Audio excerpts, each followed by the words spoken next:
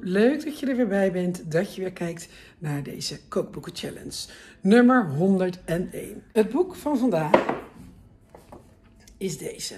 Het Rotterdamse kookboek. In Rotterdam wonen natuurlijk echt wel honderden verschillende bevolkingsgroepen bij elkaar. En die hebben allemaal hun eigen eetgewoontes. En daar uh, zijn echt wel uh, 16 verschillende kookculturen die verwerkt zijn in dit boek. Met een verhaaltje erbij, hoe wat. En dan staat er een aantal recepten bij.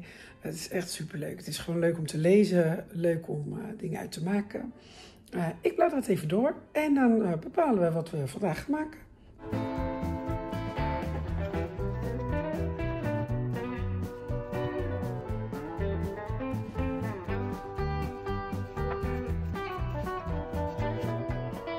Zigni, een stoofschotel van vlees.